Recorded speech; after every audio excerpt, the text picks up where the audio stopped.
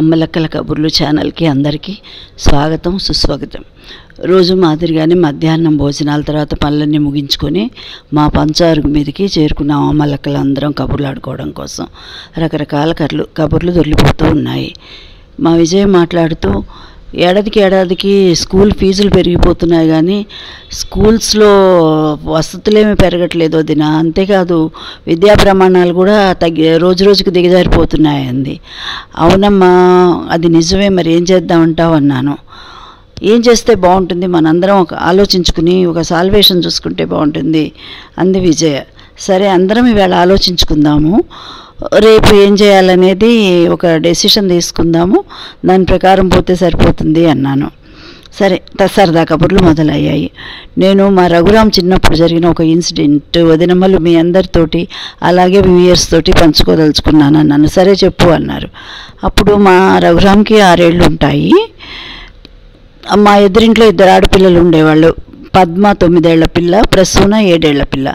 సాయంత్రం మేము టీవీ చూస్తుంటే వాళ్ళిద్దరు కూడా వచ్చి మా ఇంట్లో కూర్చొని టీవీ చూస్తున్నారు. ఉన్నట్టుండి పద్మ చిచ్చిచ్చి ఆ డ్రెస్ ఏంటి? అమ్మాయి పొట్టంతా కనిపిస్తోంది అని కామెంట్ చేసింది. దానికి మా రఘురామ్ ఏమన్నాడో తెలుసా అన్నాను. చెప్పు చెప్పు అన్నారు ఆసక్తిగా. ఈ- నేను ఈరోజు చెప్పాను కదా వదినమ్మ రేపటి ఎపిసోడ్లో చెప్తాను. మనం వ్యూయర్స్ కూడా ఆలోచించి చెప్పాలి కదా. కామెంట్ బాక్స్లో పెట్టాలి కదా అన్నాను.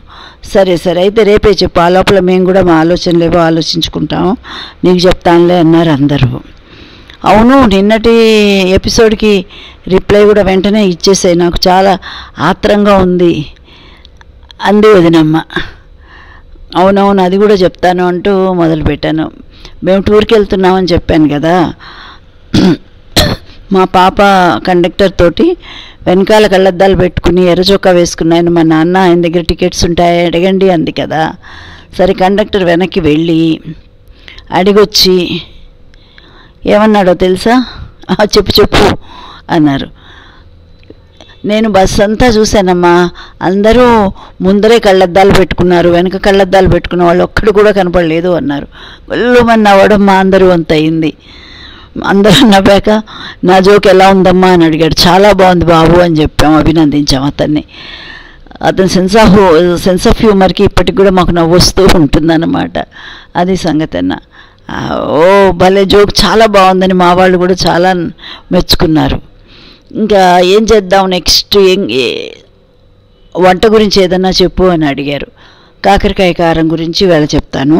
ఒక మాదిరి కాకరకాయలు నల్లటివి కడుక్కొని కుక్కర్లో కానీ విడిగా కానీ ఉడికించుకొని పక్కకు పెట్టుకోండి చిదుపు చిదుపుకొని. తర్వాత నాలుగు పెద్ద ఉల్లిగడ్డలు తీసుకుని సన్న ముక్కలు చేసి అందులో సరిపడ ఉప్పు కారం పసుపు వేసి దంచుకుంటే దంచుకోండి లేదా మిక్సీలో వేసుకోండి. తర్వాత ఒక బాండీలో కొంచెం ఎక్కువే నూనె వేయండి. వంటకానికి నూనె ఎక్కువ పడుతుంది. బండిలో నూనె వేసి నూనె కాగిన తర్వాత ఈ ఉల్లిగడ్డ ముద్ద వేయండి. అట్లాగే చిదిపిన కాకరకాయ ముక్కలు వేసి మూత పెట్టండి. అప్పుడప్పుడు కదుపుతూ సగం ఉడికేదాకా మూత పెట్టి ఉడిపించి ఉడికించుకోండి. తర్వాత కొంచెం చింతపండు వేసి కొంచెం బెల్లం దంచి పెట్టుకోవాలి. మనం తినే తీపిని బట్టి బెల్లం ఎంత వేసుకోవాలనేది డిసైడ్ చేసుకుని బెల్లం వేసుకోండి. అలా స్లోగా నెమ్మదిగా అలా వేయిస్తూ ఉంటే కొంచెం దగ్గర పడుతూ మనకు తెలుస్తుంది ఉడికిన వాసన వేగిన వాసన. టేస్ట్ చేసుకుని సరిపడా అన్నీ ఉన్నాయో లేదో చూసుకుని దింపేసుకోండి. ఇది వేడివేడి అన్నంలో తిన్నా చపాతీలో తిన్నా లేకపోతే బ్రెడ్కి ఇట్లా స్ప్రెడ్ లాగా రాసుకున్నా కూడా చాలా బాగుంటుంది. పిల్లలైతే అస్సలు జామ్ లాగా తినేస్తారనుకోండి బెల్లం ఎక్కువ వేస్తాయి అంటూ చెప్పాను. ఓ నువ్వు చెప్తే ఇప్పుడే నోరు ఊరిపోతుంది. తప్పకుండా తయారు చేస్తామన్నారు అందరూ. ఈ వదిన నా పట్టు చీర కొంచెం షైనింగ్ తగ్గిపోయింది. ఏం చేస్తే బాగుంటుంది? అని అడిగిందే కాంతమోదిన దానికి సులోచన తమ్మందుకుంటూ అందుకుంటూ ఏముంది? ఇవి షాంపూస్ ఉంటాయి కదా షాంపూలు నీళ్ళల్లో వేసి గిలక్ కొట్టి అందులో పట్టు చీర జాడించి ఆరేసి నీడ పట్టున ఆరేయి. ఆరిన తర్వాత డైరెక్ట్గా ఇస్త్రీ చేయకుండా దాని మీద ఏదైనా న్యూస్ పేపర్ వేసి ఇస్త్రీ చేయండి. ఎందుకంటే న్యూస్ పేపర్ వేసి ఇస్త్రీ చేస్తే జరి నల్లపడకుండా ఉంటుంది అని చెప్పింది. ఓ సరే అలాగే చేస్తాను అంది వదినమ్మ. లేదా డ్రై క్లీనింగ్ చేసుకుంటే జరికి మెరుగు పెడతారు కదా అన్నా నేను. ఆ, ఈ పాత చీరకు మళ్ళీ అదంతా ఎందుకు డ్రై క్లీనింగు జరీ మెరుగు అంటే నూట యాభై రెండు వందల రూపాయలు అవుతుంది. దేనికంటే వదినమ్మ చెప్పిందే బాగుంది.